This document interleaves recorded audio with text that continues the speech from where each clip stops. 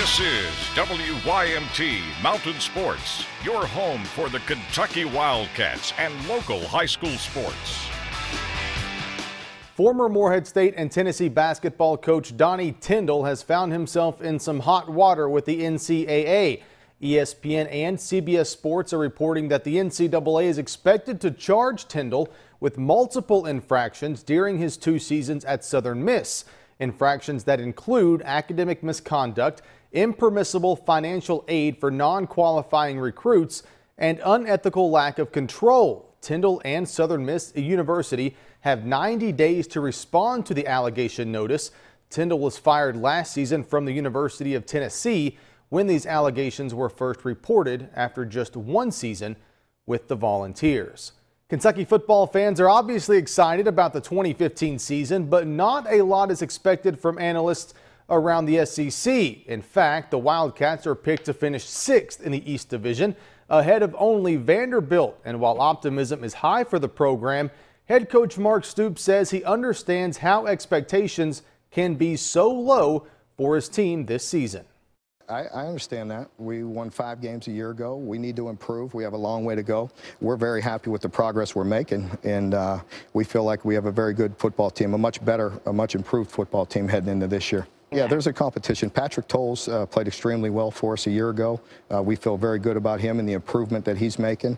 Uh, but he has a very talented guy behind him that redshirted a year ago that's pushing him, and Drew Barker. But it'll be a healthy competition.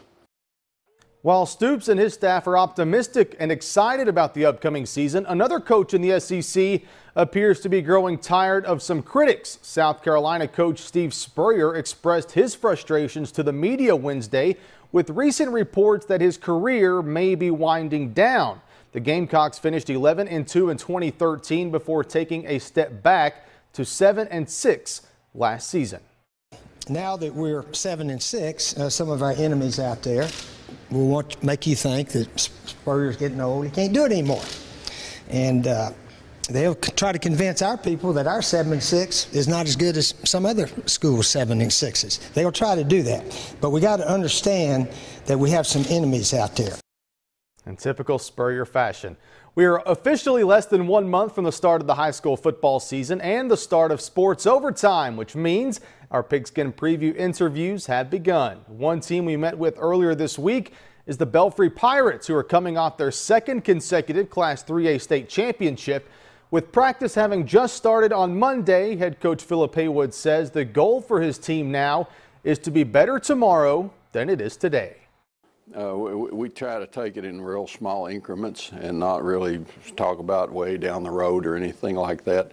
Uh, but we do feel like if you can get a little better each day and if you can uh, do that each week, that over a period of time you can make some drastic improvements. And, and we've, we've been a been able to do that because usually we're a lot different at the end of the year than we are at the beginning of the year. And so, so that, that's, that's a big part of our philosophy. And guys, that is sports. Thank you, Josh. And we'll be right back after this.